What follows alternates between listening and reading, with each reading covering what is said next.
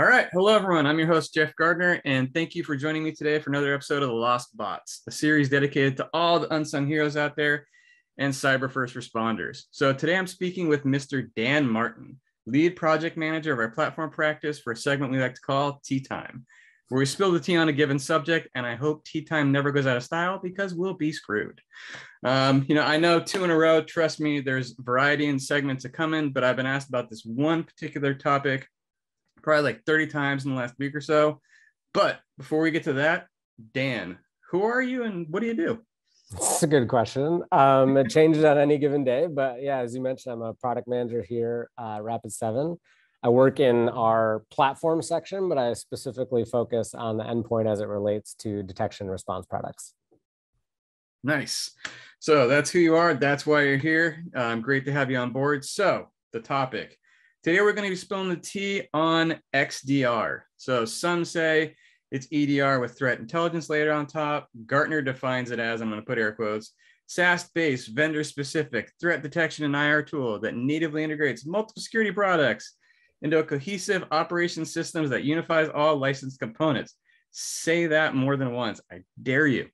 Uh, but wherever you look, people seem to agree that the advantages are reduced noise, improved detection capabilities, productivity, lower cost of ownership, blah, blah, blah, blah, blah, blah.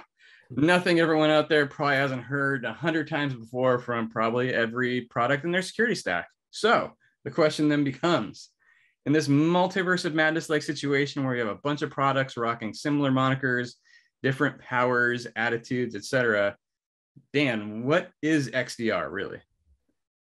Yeah, I mean, I have to be honest here. I'm going to come clean. Um, I made fun of this acronym for a long time. Um, and I think a lot of other people enjoyed making fun of it. Um, I like to still make fun of it, but I think the reality is we've started to hear customers ask us about it.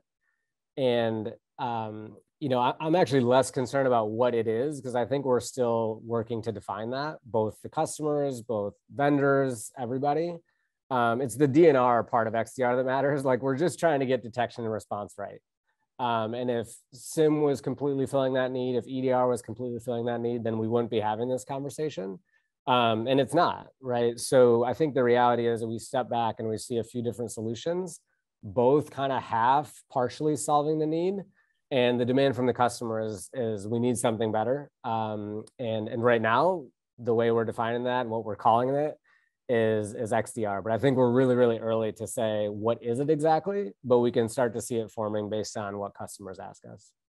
So evolution in progress. Um, so to the best of my knowledge, and this is I'm going to something pass back to you afterwards. There's three flavors of XDR, kind of like Neapolitan ice cream. You've got open, you've got hybrid, and you've got native. So I'm going to do my best to limp through this definition and then hopefully you can help me out afterwards. So I'm open. Curious, so, yeah. open XDR is basically like you buy an XDR product that fulfills one of the five to 10, you know, niches that XDR claims to, you know, take, whether it be SIEM, whether it be, you know, threat intel, and then you can plug and play various other solutions into that vendor solution. And that's open XDR. Hybrid would be where you pick the vendor that has the the strength of your choice, whether it again be SIEM or EDR, and they they span multiple areas within XDR, but still leaving you room to go and pick and choose from a few different uh, areas. And then there's native, which is basically like we do everything, uh, and it's all in one product. Uh, so I'm going to pass that back to you first. Does that jive, or am I completely off base? I mean, that's the closest I've heard to defining all three. I think what I've heard, what I've read or heard from a lot of industry analyst side is they're picking open or hybrid and kind of running with one of the two of those. I don't fully get the distinction because to your point, it sounds a lot like what we do today or what customers have to do today. Um, whether or not you're picking like best in breed in all the different um, all the different areas, or whether or not you're picking like the one you care the most about and making the rest work with it that's kind of the position we're in right now. Um, I think the only difference between um, what we're talking about in the context of XDR and what we do today is as we start to define the functionality and critical capabilities or whatever we want to call them that XDR has to have, if you don't check all those boxes or you don't have that functionality, um, you know, as we define what that means, then maybe there's things that you didn't previously think about that you want to make sure gets integrated in so you can see, you know, the full picture process tree, whatever it may be. Um, and then, yeah, the native one is kind of, uh, I, I shouldn't say straightforward because again, back to my previous comment, I don't think we fully define what that means. Um, but yeah, it's like, hey, here's our thing. You can have all of it, a one-stop shop. Um, and there's obviously pros and cons to all those things. So speaking of pros and cons, um, you know, we've talked about the various approaches. Are there any benefits, drawbacks to each one of those styles that you'd like people to be aware of? Because I, I have some thoughts on either end of the spectrum and some thoughts about the middle, but I'll pass it over to you first to see if you kind of like jive with what I'm thinking up in here. Yeah, yeah. Uh, well, as you being a for, former buyer of these things, I'm sure your pros and cons are maybe more rooted in in reality. But having talked to to customers, um, you know, it depends on I think more the maturity of your security program and what you're focused on and what you are view as the the real threats to your to your business today. Um, you know, native sounds great, right? Uh, in the sense that um, you know, go to the one person for everything um, but none of us, and I, us, Rapid Seven, everybody in this industry does everything at the top notch level, right? We have our strengths like anything else. Uh, and I think that that buyers of native, like you get the simplicity, allegedly, if we deliver properly. Um, but also, you know, by nature, you want to make sure that our strengths are the things that you care about the most. Um, and that's going to differ from business to business, regardless of size of business, anything like that um, the open and hybrid, like the pros and cons there, I would just say, again, that's largely kind of the situation we're in today. So if you have best in breed in some certain class, obviously you don't want to move to an XDR solution that is less than or that you depend on for any of the, that capability set. Um, so I give you like the most product management answer of all time because I basically just said it depends, but I used 250 words. Um, but I think that's the reality, right? It, it does go on a case by case basis, right? Understand um, your business and what you need and, and kind of go according to that. So I'm gonna I'm gonna spell check your I'm gonna word count your document, give you the C plus that your professor would give you back in college for meeting the, the minimum requirement. Nah, that was good, man. I appreciate that. Oh, just in general for this XDR stuff, what would be the the one piece of advice? And we may have already talked about it, but just to reiterate, what would be your one piece of advice for anyone looking at the to quote men in black the new hotness old busted hotness new hotness like what's the new hotness i my one piece of advice would be and again not, not to just go over what we just said but if you look at anyone selling you anything right xdr or anything um, look at what they were doing right before that or what they're what you believe they're really good at what is the bread and butter um, and understand that that will continue to be the case. Over time, we will all get better at all the things we're not good at, yada, yada. Um, but I think like you need to, what I've seen um, is a lot of, how do I put this nicely? Copy paste of what I currently or was formerly selling, but now I have this brand new thing that's XDR, and I've added a few bullet points um, and things like that. Um, but you know, and I don't think anyone's doing this to try to be elusive, but I just think you have to know like what is the core capability, what is the core expertise of what you were doing, and understanding that's still going to be the case. Um, and as just from a buyer perspective, I think if you lead with that and accept the fact that all this other capability to round out my solution, whether that's native, open, hybrid, whatever, um, if I'm okay with that still being maybe not uh, top notch, top of market, then maybe that's okay. Nice. And uh, I'll throw in my two cents. So, um, you know, I don't have one, I kind of have two. One is the major, kind of like you said. Keep your use case, as with all things, as with everything that we do, you have to have a use case, use case as hopefully. Yeah. Don't just buy into XDR thinking it as another point solution to address a singular set of issues in your program XDR is meant, you know, to be more cohesive, more broad, and you really have to have those use cases. Otherwise, if you look at all the capabilities that XDR has and you're buying it for this thing, you're not you're going to have a bad time. Yeah. because yeah. you're not going to utilize the full feature set that it brings. So just make sure that it fits in your program like you said. It makes sense for you not based on what analysts or anyone anyone else out there is saying. It's got to make sense for you. But then the second point is kind of a little more executive policy ish.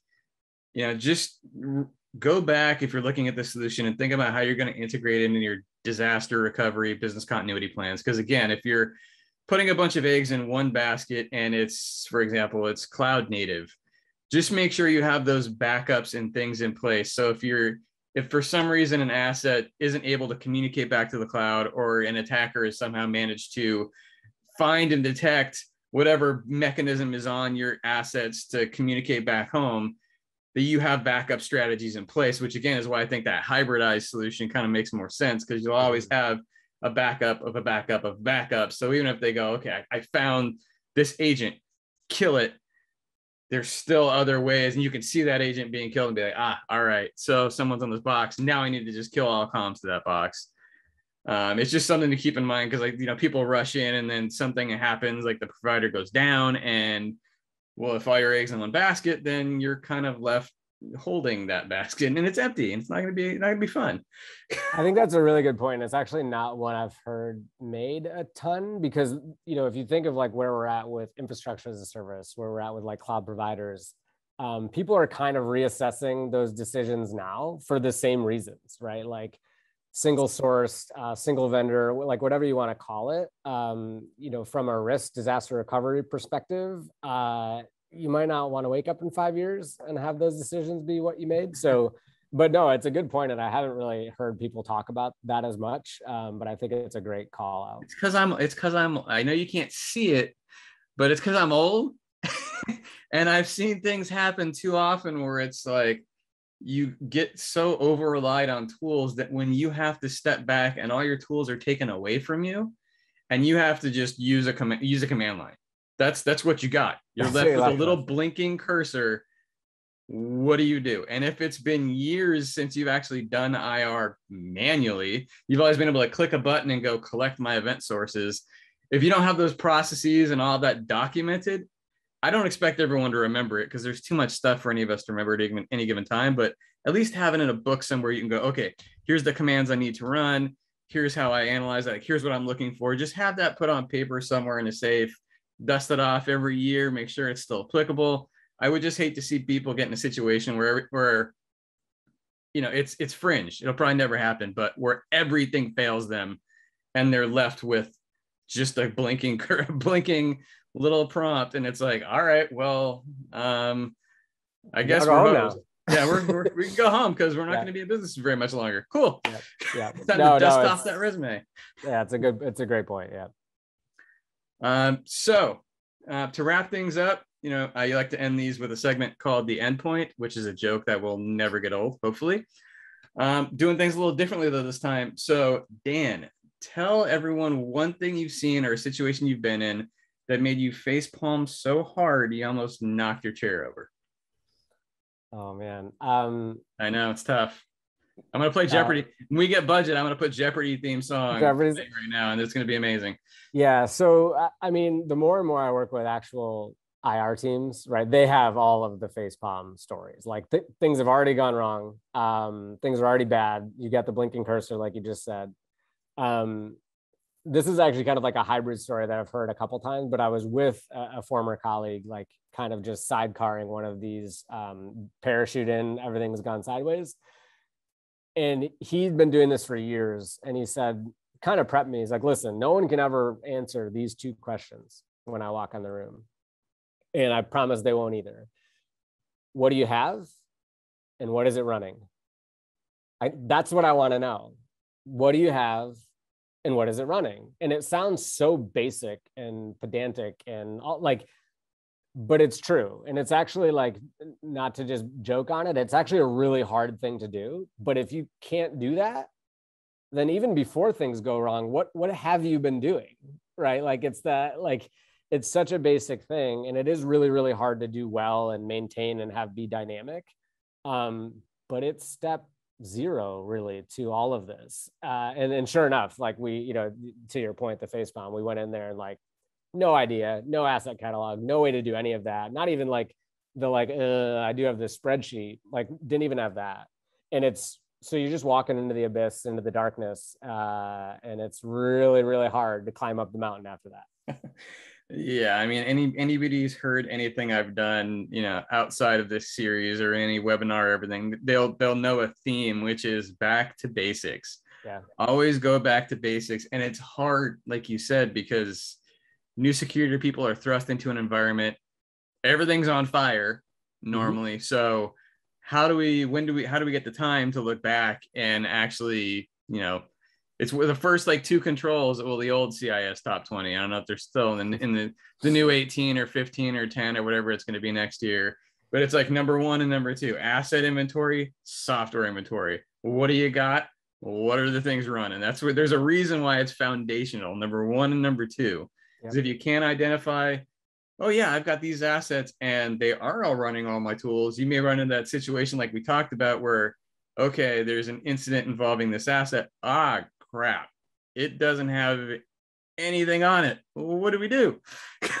yeah. So, and you're really just left uh, i mean exposed is an understatement right? But it is yeah it's very basic but it, but it, again it's very hard to do well so. So sage advice my friend. Um, i hope we've given everyone who's been listening you know a little insight into what xdr is the various flavors um, you know what you should look for and what you should look out for. Um, and thanks to all of you for you know joining us. Uh, thank you for tuning in. Remember to bring the hammer down as thor would like to say um, on that like button, subscribe, upvote, or whatever the heck buttons in front of you that says you want to see more of this amazing series. And hopefully, we will see you next time. So take care, everyone.